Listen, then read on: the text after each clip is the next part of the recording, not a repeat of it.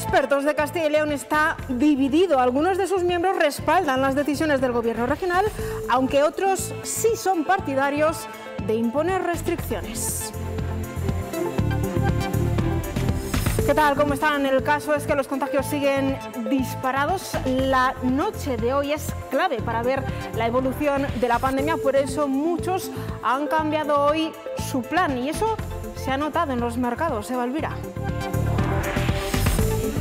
Los hábitos de los vallisoletanos han cambiado poco de cara a la cena de Nochevieja y la comida de Año Nuevo. Lo que sí han tenido que cambiar son los hábitos en cuanto al número de personas que se juntan. La pandemia ha hecho que muchos de ellos, en lugar de ser cenas o comidas más multitudinarias, sean más reducidas solo para el núcleo familiar. Las lentejas son uno de los platos estrella de Mayorga. Nos vamos hasta allí en directo. Andrea Olmedo, muy buenas tardes. Y hoy lo son más que nunca. Son más que nunca. Todos los de este pueblo eh, se han podido acercar a la Plaza Mayor a disfrutar de unas lentejas como estas. Además, esta actividad típica de Nochevieja coincide con la San Silvestre popular del pueblo. Todos los corredores al terminar esta carrera pueden disfrutar de un plato calentito. Enseguida se lo contamos. Dos días para la primera cita deportiva del 2022. Hola Eduardo, con el Real Valladolid como protagonista. Sí, el próximo domingo y en el estadio José Zorrilla. ¿Qué tal, Laura? Pues eh, así empezará el año 2022. El 21 ha acabado esta misma mañana con la disputa del habitual Cross de las 12 uvas. Una mañana no demasiado fría, pero protagonizada por la niebla. Ya han estado los eh, más pequeñitos y también los más eh, grandes, disputando una prueba ya absolutamente clásica del calendario atlético. Y cómo no, si así acaba el 2021, con fútbol arrancará 2022. El partido entre el Club Deportivo Leganés tiene casos COVID y el Real Valladolid, que también presenta hasta seis bajas. Joaquín puede que entre en la convocatoria. Y en lo meteorológico arrancamos el año con cielos despejados, por lo que no se descarta la presencia de nuevo de niebla a primera hora del día. Después lucirá el sol y habrá, hará que las máximas lleguen hasta los 15 grados.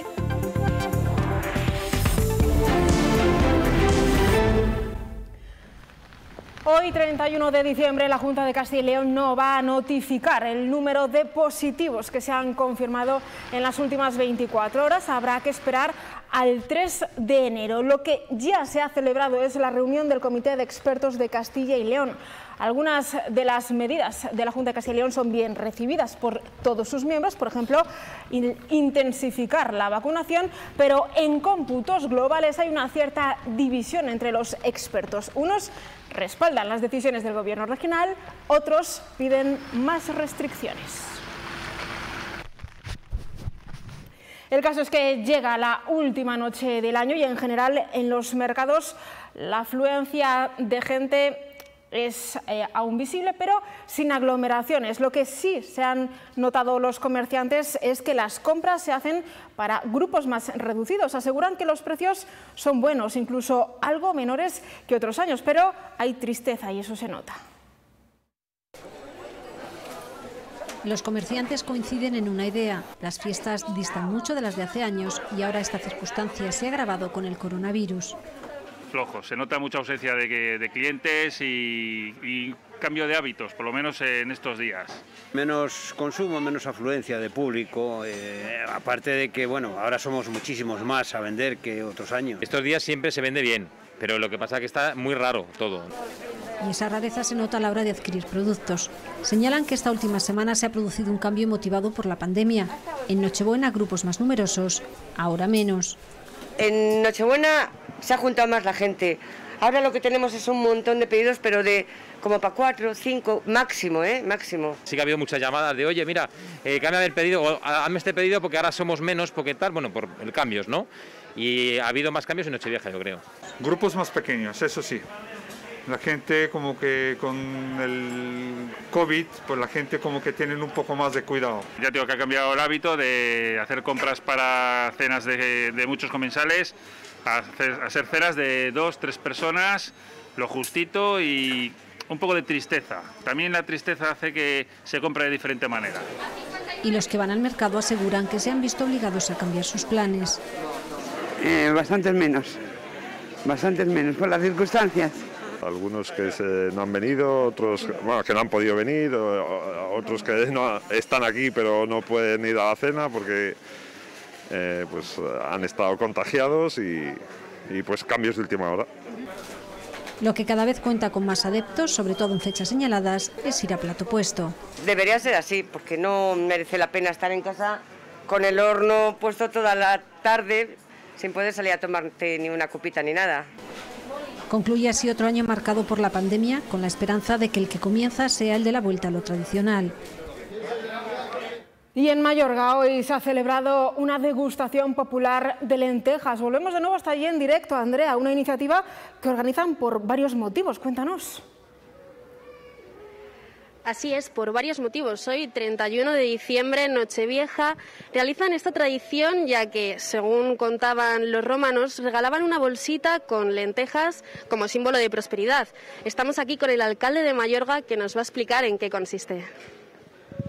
Pues llevamos 10 años eh, con esta actividad, es una actividad de promoción de uno de los productos más eh, valorados desde el punto de vista gastronómico retomando esa tradición, como bien decía, romana, en la que llegando Nochevieja se regalaba una bolsita de lentejas para que les diese suerte y que esa bolsita de lentejas se convirtiese en ese año que empezaba pues, en una bolsa de, monedas.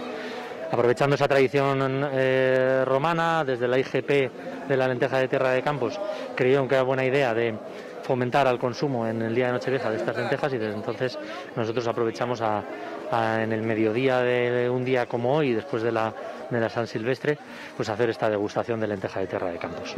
Este año en concreto una situación complicada con el COVID y, con el, el alto número de contagios. ¿Cómo lo estáis llevando?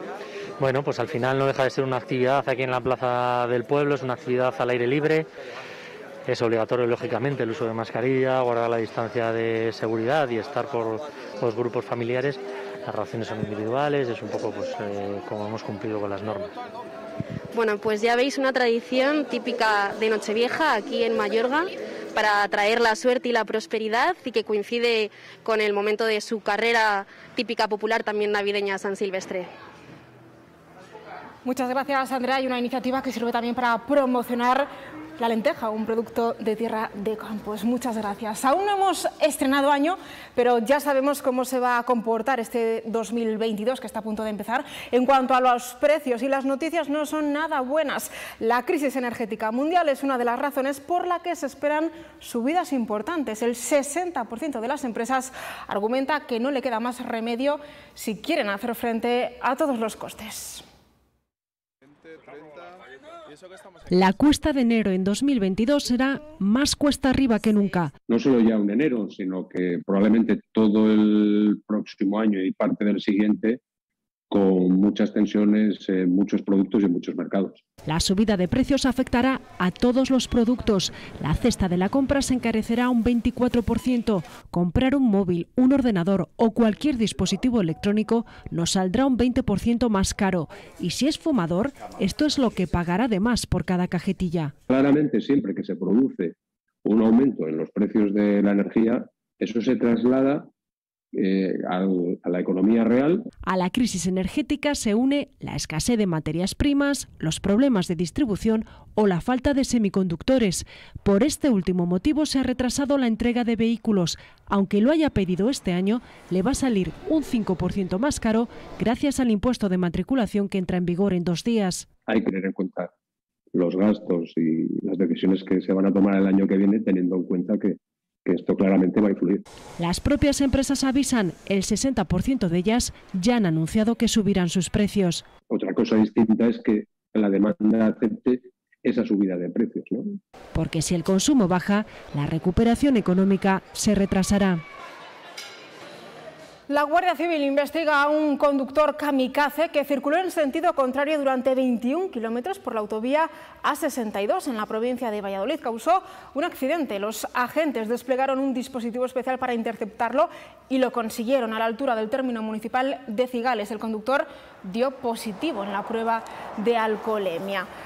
Por cierto, van a ser días muy complicados en cuanto al tráfico. La DGT continúa con su operación especial hasta el domingo. Si van a viajar, tengan en cuenta las horas de mayor intensidad de tráfico y la previsión meteorológica por posibles nieblas. Toda precaución es poca para evitar siniestros. Hoy, por ejemplo, la autovía A6 en sentido Coruña ha estado cortada a la altura del término municipal de Tordesillas por el vuelco de un camión. La circulación a estas horas ya está restablecida.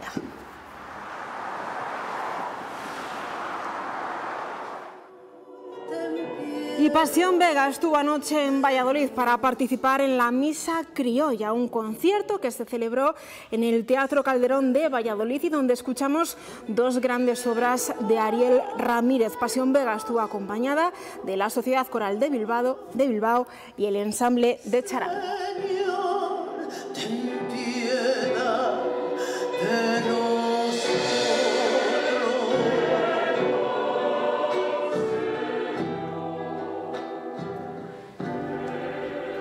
Con este estupendo recital hacemos una pausa, un minuto, ya saben, y enseguida la información deportiva.